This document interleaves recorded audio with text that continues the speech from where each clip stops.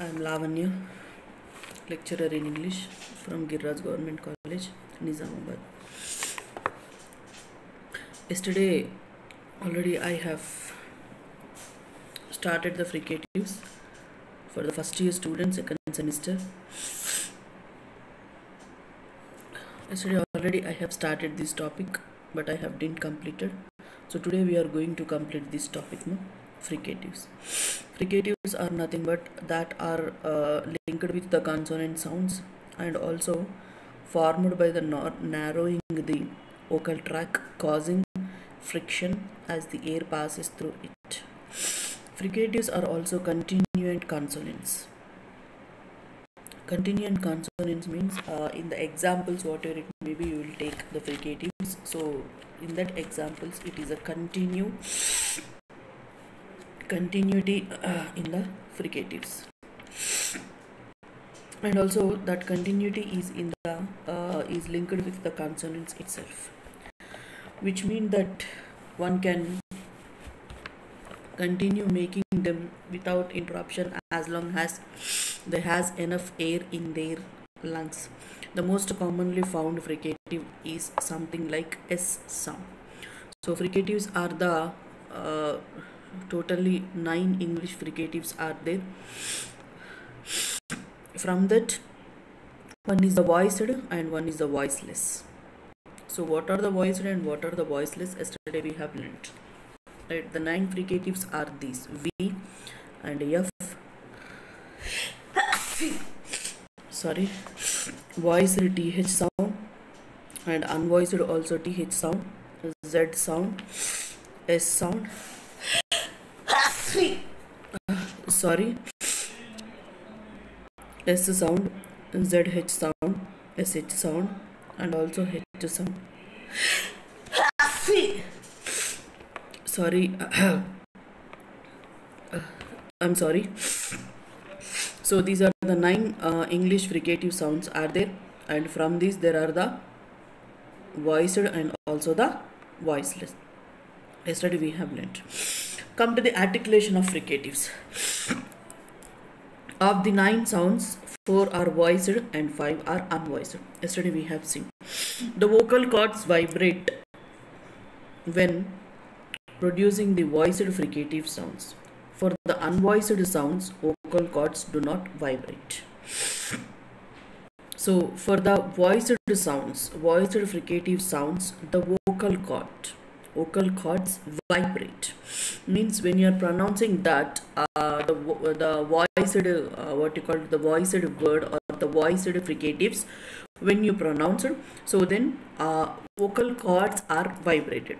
And for the unvoiced sounds when you pronounce so then the vocal cords are do not vibrate.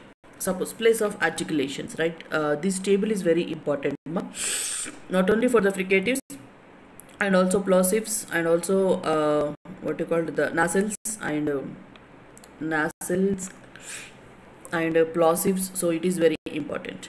So place of articulations right? So this table you have to learn this table compulsory. So uh, voiceless and also voiced. So voiceless are called the fortis and voiced are called the lenis. So remember that. And yeah labidental and dental and allovetal and uh, post allover alloveral and glottal nothing but the vocal cords parts ma. Don't be in confusion. These are the vocal cord parts. So when you pronounce the voiced and also the voiceless fricatives so then it moves. Means it gives the sounds. It gives that type of phonetics right? So that's why I have kept that table. So first one, labidental fricatives. So what are the labidental fricatives? F and also V. F and V. So what is the F and V? Labidental fricatives is when you pronounce the F or V, so your lower lip in contact with the upper teeth, right? Already you are, uh, I'm showing in the figure, you are seeing this figure so labidental when you pronounce the f or v uh, so then you are giving only the what you call the air.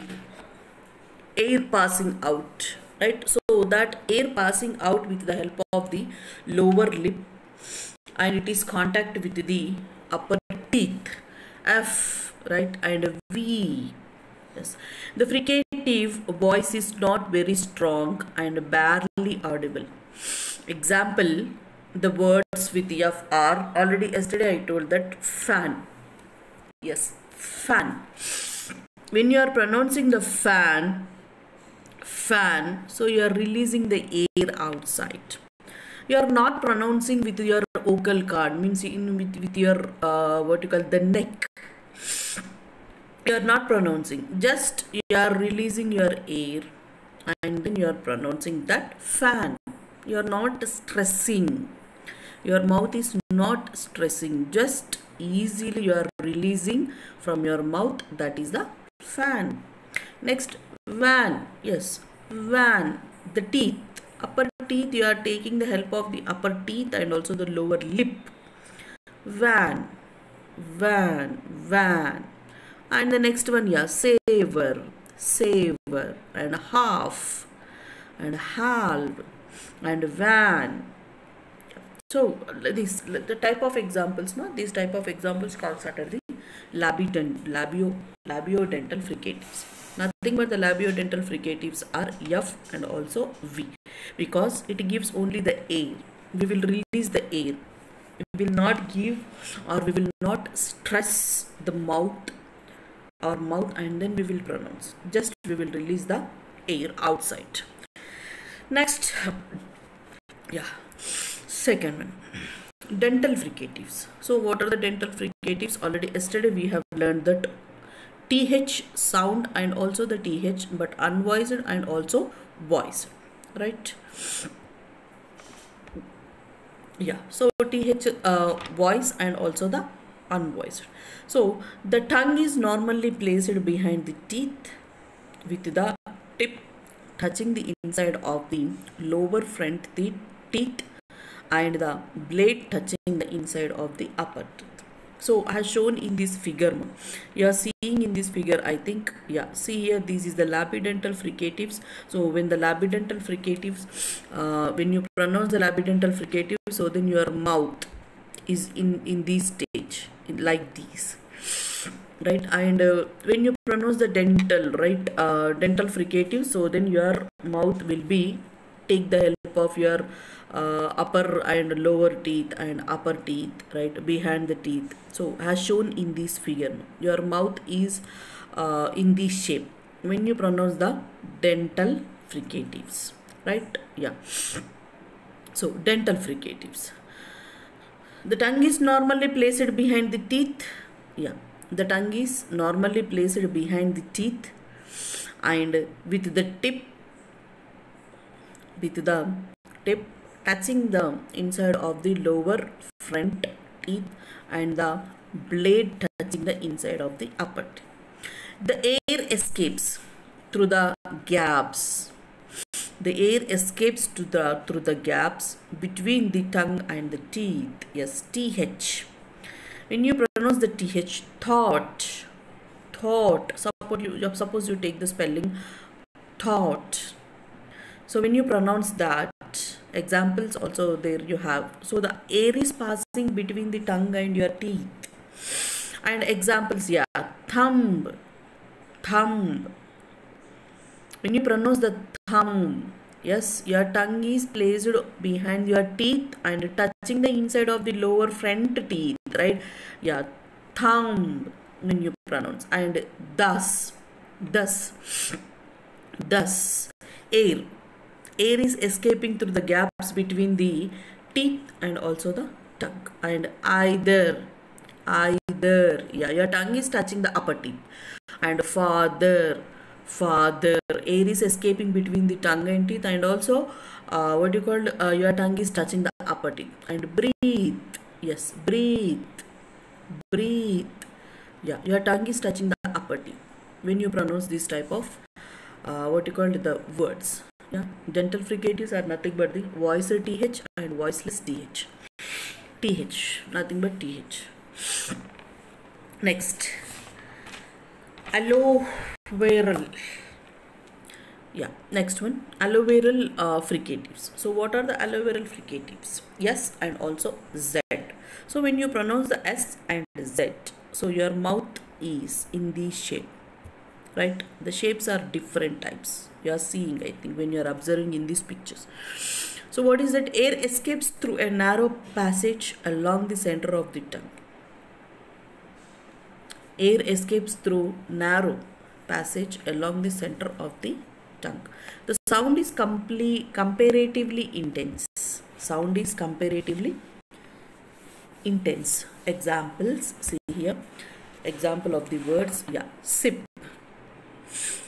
sip air escapes through a narrow passage along the center of the tongue right? So your air you, are, you are not pass you are not passing the air outside. You are taking the air inside. When you are pronouncing this sip sip you are not passing the air outside right? You are taking the air inside. Right next one yeah zip zip yes. And facing facing. Sound is comparatively inside intense. And yeah facing facing. Rise rise rise rise rise rise.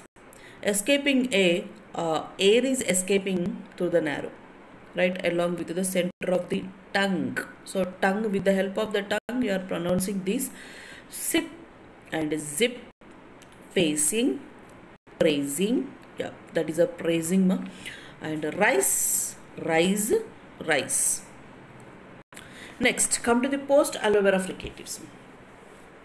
Post alveolar fricatives. Already you have seen uh, what shows that uh, what you called the two symbols means two phonetics nothing but sorry ma phonetics. So first one is the uh, what you call the voiceless and also sh yes and also uh, this one the second one is the za za za nothing but the za sound. And this is the yeah sha not the sha also sa sho sho right? Yeah. Air escapes through a passage along the center of the tongue. The passage is little wider and lips are rounder. Yes when you pronounce these uh, what you call the two uh, sh sound or the z uh, zu or za sound so then the air passes through uh, the passage along the center of the tongue and also it is a little wider and the lips are rounded. See examples russia. Yes russia. Russia so your your tongue is uh, moving rounded your tongue is moving roundly. Russia russia right? So your tongue is moving roundly in your mouth. And yeah measure measure measure right? Your your tongue is uh, when, you're pronouncing ma you can feel it. When you're pronouncing you can feel it your mouth your tongue in which stage or in which situation it is there.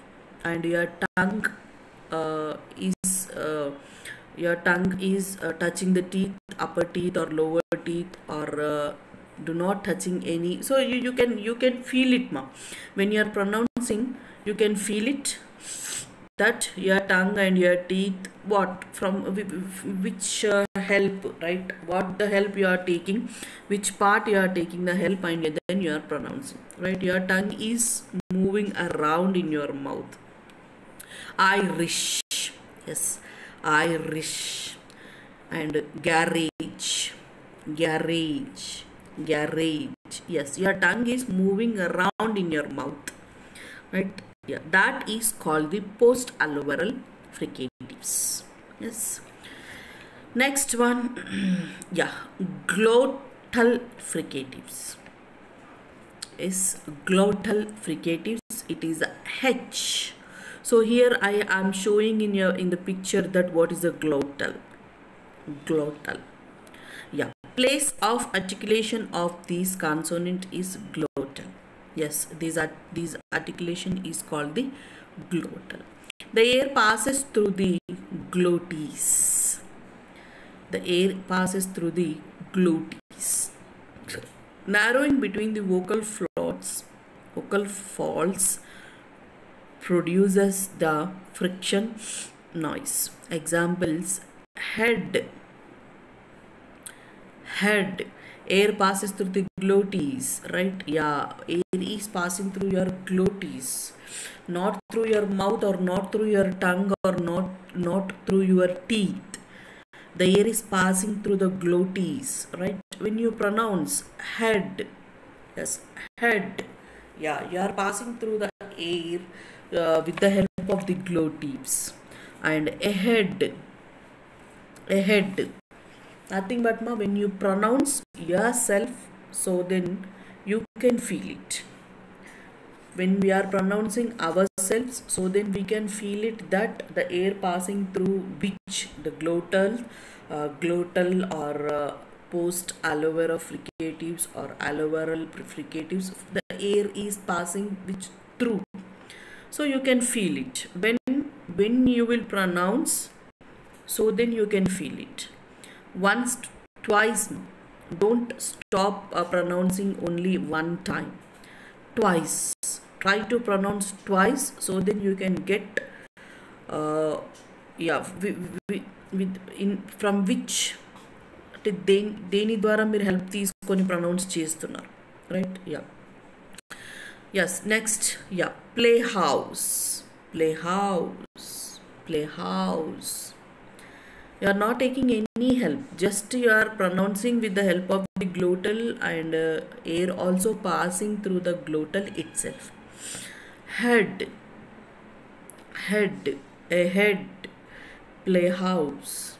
Right? You are not taking the help of your teeth. I'm feeling that because i'm pronouncing right? So then i'm feeling that uh, from which part the air is passing away and also uh, in your textbook ma, uh, he had given a activity that look at the following words pronounce them aloud and check your pronunciation with the help of your teacher. So then he in, in, in your textbook he have given some examples. So all the examples all the nine fricative examples. So then pronounce it and then uh, what you call identify it. That in which it will come. In which fricatives it will come right? Flower flower flower. Surf surf sa sound you are giving.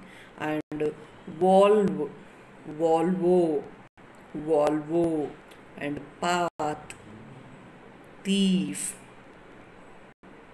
valve and thick panther. Yeah so a lot of the examples are there in your in your textbook. So then you can read it in your text and then it would be helpful to you helpful for you.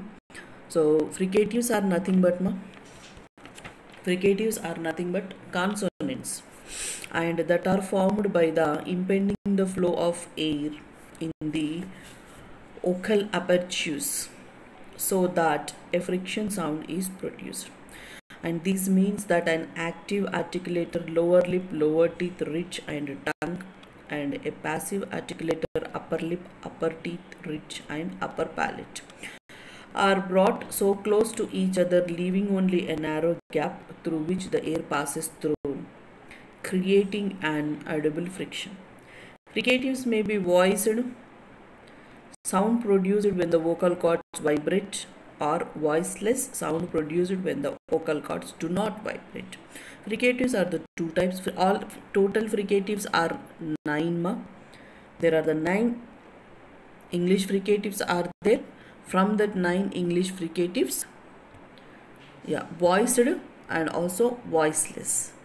So you have to divide the voiced and also voiceless. So from that nine, there are the F and V and th and also th s z and sh sound and zh sound and h sound so these all are the nine phonetics fricatives are linked with the phonetics mom in the english phonetics are very important to learn because in the Telugu and Hindi without ఒత్తులు తెలుగులో హిందీలో ఒత్తులు లేకుండా మనం sentences కానీ words words కానీ form చేయలేము నన్ను రైట్ ఎలా అయితే అలాగా తెలుగులో హిందీలో ఒత్తులు లేకుండా మనం సెంటెన్సెస్ కానీ వర్డ్స్ కానీ ఫామ్ చేయలేము. Same as it is in the English also ఇంగ్లీష్లో కూడా ఫొనిటిక్స్ లేకుండా వర్డ్స్ కానీ సెంటెన్సెస్ కానీ మనం ఫామ్ చేయలేము. రైట్ ఫ్రమ్ యువర్ చైల్డ్హుడ్ నేర్చుకున్నారు కావచ్చు. But in these what call that in in these degree level this degree stage must important to learn the phonetics compulsory right so the phonetics is very important not only in your this stage మా it it will help in your future also ఫ్యూచర్లో కూడా మీకు బాగా help చేస్తుంది the phonetics right English is nothing without phonetics English కూడా phonetics లేకుండా లేదు so in that phonetics also you have the different types of parts right already you have learn in the first sem that the consonants diphthongs and also monophthongs but in your second semester in this stage you have the fricatives plosives and articulations and nasals these type of uh, phonetics you have to learn and అందుకే కంపల్సరీగా phonetics నేర్చుకోండి right so these is the fricatives today I'm ending these it is completed so I'm ending these fricatives part two I'm Lavanya lecturer in English From Girraj Government College Nizamabad thank you